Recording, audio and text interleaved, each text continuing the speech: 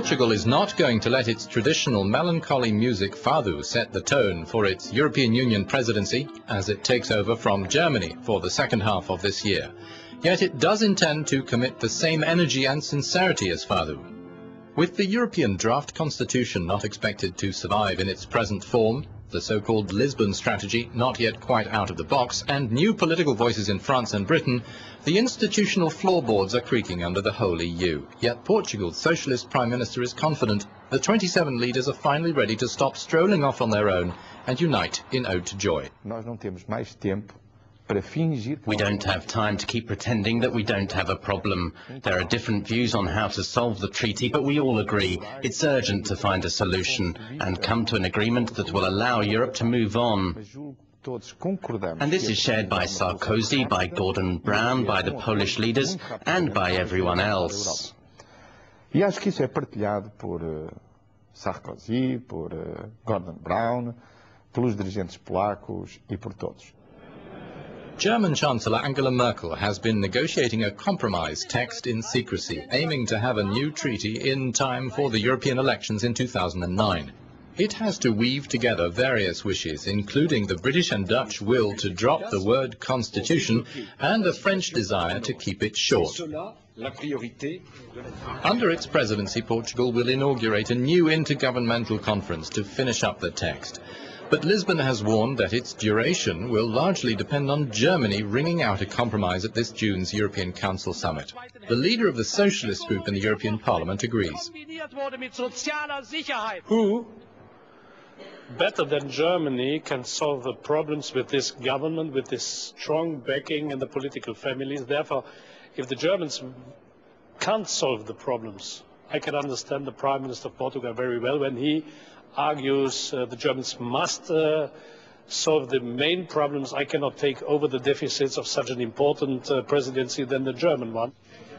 There's a widespread worry that neither Portugal nor Slovenia, which handles the EU presidency after it, has the political weight to get the treaty finished. A political analyst in Brussels points out that a lot is riding on prestige. Portuguese uh, presidency priority, therefore, is to try and make progress on that. But all the signs, frankly, are that the French presidency, which comes a year later, as you know, the second half of 2008, wants to take the credit for coming to a conclusion on this uh, constitutional treaty. Partly to uphold the honour of its namesake, another of the Portuguese presidency's priorities will be to inject new life into the Lisbon strategy for growth and employment. Adopted by all the bloc's leaders when Portugal last held the presidency of the EU in 2000, this strategy was aimed at rendering Europe the world's most competitive knowledge-based economy by 2010. The strategy's national coordinator in Portugal, with the product development firm Y-Dreams, insists the key isn't in what or how much you know, but in thinking in new ways. The new Lisbon strategy differs from the old one substantially. Knowledge at the heart of the strategy isn't enough. Innovation is what's fundamental.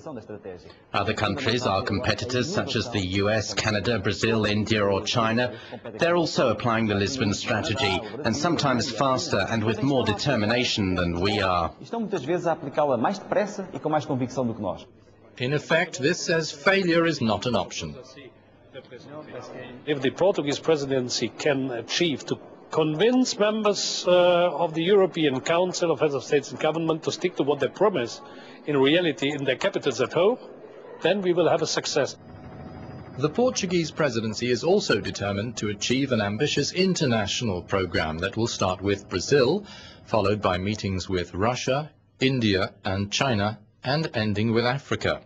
Any EU-Africa summit has been repeatedly put off in view of human rights violations in Zimbabwe and the EU's sanctions against the Mugabe regime.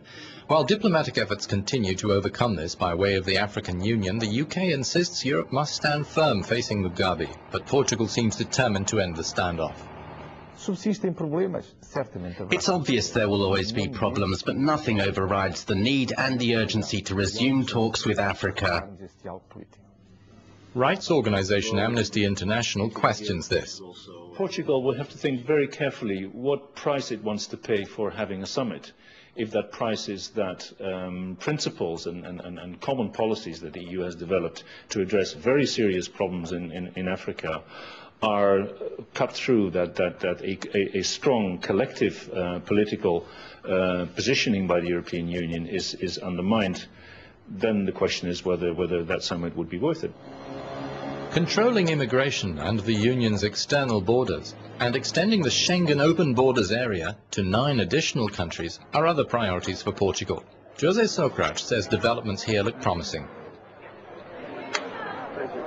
It was Portugal that proposed the new technological solution, which was approved by the Commission, that will allow nine new countries to lift their barriers as of the 31st of December this year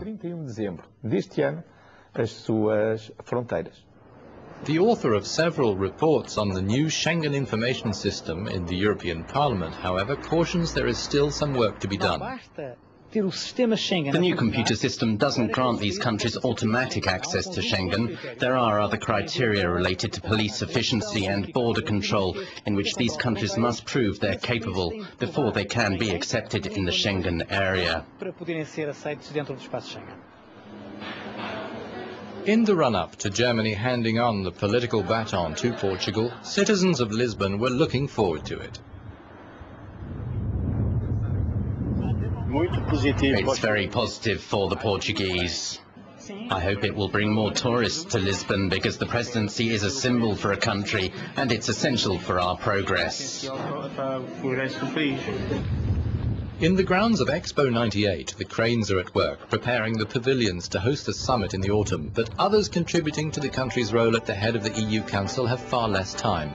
Before the 1st of July, the presidency logo has to go on thousands of panels and pencils and websites galore. The chief designer presents his concept. Cada pétala representa um Estado-membro. Each petal symbolizes a member state with its own characteristics, merging with the rest of the petals, which are the other member states. In the context of European construction, this represents a spirit of diversity and the sum of all the values and characteristics of each member state.